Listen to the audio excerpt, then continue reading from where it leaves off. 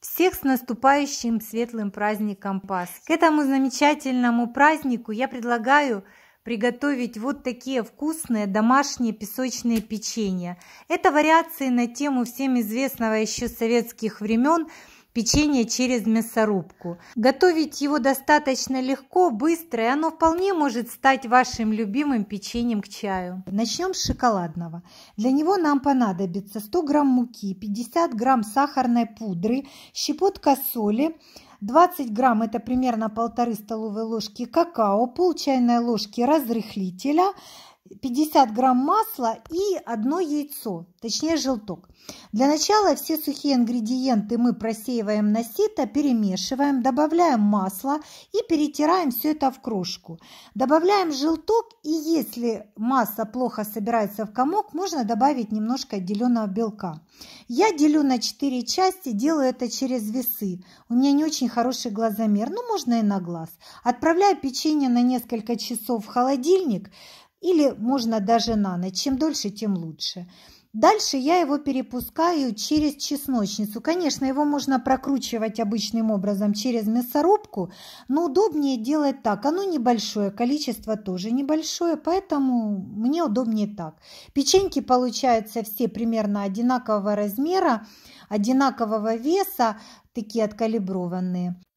Скручиваем их таким красивым комочком и делаем внутри ямочки для начинки. Это удобно сделать любым стаканом по, ну, по возможности, какой у вас есть. У меня получается печеньки 10 в диаметре и 5 в серединке. Отправляем на листик, выпекаем минут 15. Нужно смотреть, чтобы печенька не сгорела. Печется оно быстро.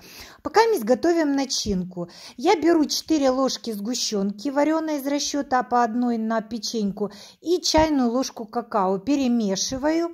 Э, в идеале лучше взять любую шоколадную пасту ореховую, ну, в общем, по вкусу, по вашему вкусу. Будет вкусно с любой. Наполняю печенюшки и внутрь размещаю любые яички, которые обычно перед Пасхой продаются. В этом году у меня вот такие красивые конфетки. Они, правда, в фольге придется разворачивать, но очень нарядно они смотрятся. Я размещаю по три штучки. Вот так празднично выглядит это печенье, очень эффектно и нарядно.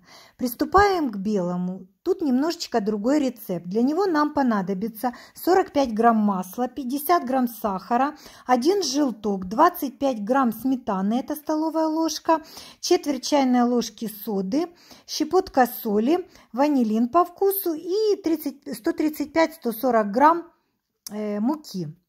Муку с маслом и солью я перетираю в крошку и отправляю в холодильник, чтобы оно не грелось. Тем временем взбиваю яйца с сахаром и ванилином. Достаю мою крошку, отправляю туда сметану, разрыхлитель, ну, соду в моем случае, и яичную смесь. После чего перемешиваю, собираю в комочек и дальше привычным э, способом, ровно точно таким же, как было с шоколадным, делю также на 4 части. Я даю одинаковое количество на 4 белых или шоколадных. Э, я обвожу э, вот такие формочки. Вот если вам трудно одинаковые делать, можно сделать вот так. Это очень удобно. Я не всегда так делаю, обычно я справляюсь без них. Печеньки точно так же выдавливаю, точно так же формую, точно так же отдавливаю серединочки. Все абсолютно аналогично.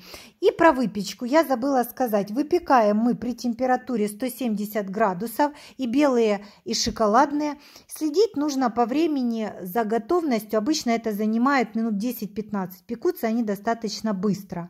Обратите внимание, по краям печеньки пекутся сильнее и могут так вот краешки как будто пригореть.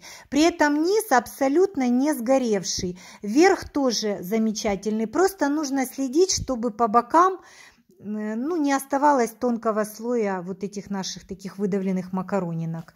Все, наполняю точно так же, только обычной сгущенкой, без какао. Печеньки, на мой вкус, получаются шоколадные, эффектнее на вид – а белые более нежные на вкус. Ну, пробовать вам. Для этого я и даю два разных рецепта.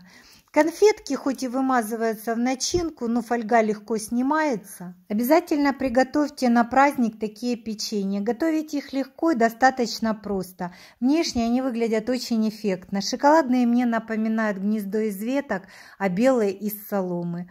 По вкусу выбирать вам. Обязательно отписывайтесь в комментариях, какие вам понравились больше – Задавайте ваши вопросы, а если видео вам понравилось, нажимайте пальчик вверх. Подписывайтесь на мой канал и не забудьте нажать колокольчик, чтобы не пропускать выход новых вкусных рецептов, которые появляются на моем канале регулярно, несколько раз в неделю. Особое внимание уделяю их подбору к праздникам.